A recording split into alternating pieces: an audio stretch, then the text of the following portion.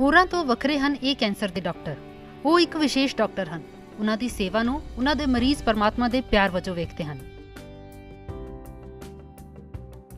ਉਹਨਾਂ ਦਾ ਨਾਮ ਹੈ ਡਾਕਟਰ ਰਵੀ ਕਰਨ ਜੋ ਦੱਖਣ ਭਾਰਤ ਦੇ ਇੱਕ ਕੈਂਸਰ ਮਾਹਰ ਹਨ।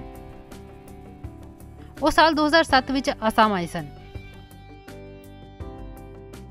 ਡਾਕਟਰ ਕਨਨ ਨੇ ਸਿਲਚਰ ਦੇ ਮੇਹਰਪੁਰ ਦੇ ਕਾਸਰ ਕੈਂਸਰ ਹਸਪਤਾਲ ਵਿੱਚ ਕੰਮ ਕਰਨਾ ਸ਼ੁਰੂ ਕੀਤਾ। ਜਦੋਂ ਉਹ ਚੇਨਈ ਵਿੱਚ ਕੰਮ ਕਰ ਰਹੇ ਸਨ, ਤਾਂ ਉਸ ਵੇਲੇ ਉਹਨਾਂ ਕਾਸਰ ਕੈਂਸਰ ਹਸਪਤਾਲ ਬਾਰੇ ਸੁਣਿਆ ਸੀ।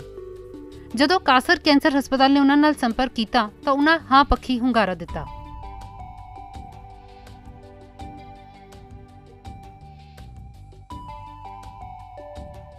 ਹਾਲਾਂਕਿ ਉਹਨਾਂ ਦੇ ਪਰਿਵਾਰ ਲਈ ਆਸਾਮ ਦਹਿਸ਼ਤ ਤੇ ਹੜ ਦੀ ਧਰਤੀ ਸੀ।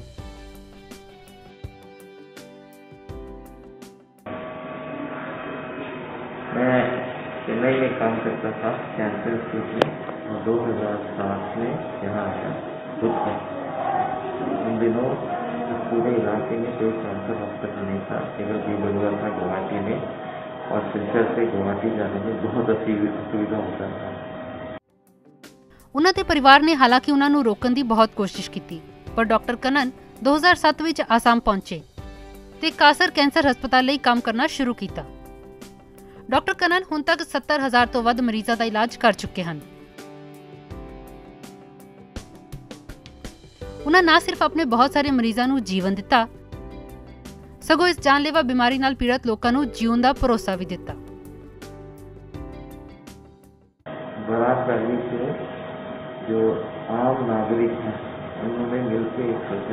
बनाया और सभी लोगों से इसके लिए सपोर्ट मिला उन्होंने हॉस्पिटल खड़ा किया और काम चालू किया ऐसा ऐसा दुनिया में बहुत कम उदाहरण मिलेंगे जहाँ आम लोगों ने मिलकर एक इतना बड़ा काम करने में सफल हुए। क्योंकि हम लोग तेईस लोग थे हॉस्पिटल में हॉस्पिटल में बीस बेड थे फिर धीरे धीरे मेरे कोलीग गिरते गए। अभी हमारा टीम लगभग तीन सौ पचास लोगों का है। अद्भुत टीम हमारी टीम टीम वर्क के कारण ही जो कुछ भी हुआ है, एक आदमी से कुछ नहीं हो सकता है। डॉक्टर नर्स टेक्नीशियन क्लीनिंग सफ़ाई कर्मचारी, सारे लोगों का हाथ है। और हर एक का कॉन्ट्रीब्यूशन का बहुत अहमियत है।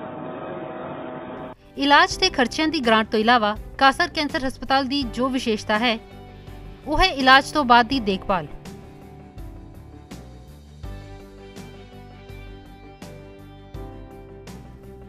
ਸਹਾਇਕ ਸਟਾਫ ਤੇ ਸਿਹਤ ਕਰਮਚਾਰੀ ਹਰੇਕ ਮਰੀਜ਼ ਦੇ ਚੱਲ ਰਹੇ ਇਲਾਜ ਤੇ ਨਜ਼ਰ ਰੱਖਦੇ ਹਨ, ਤਾਂ ਜੋ ਜਾਂਚ ਦੀ ਤੈਅ ਤਾਰੀਖ ਨੂੰ ਉਹ ਕਿਸੇ ਵੀ ਜਾਂਚ ਤੋਂ ਬਚਿਆ ਨਾ ਰਹਿ ਜਾਵੇ। Bureau report, ETV Bharat.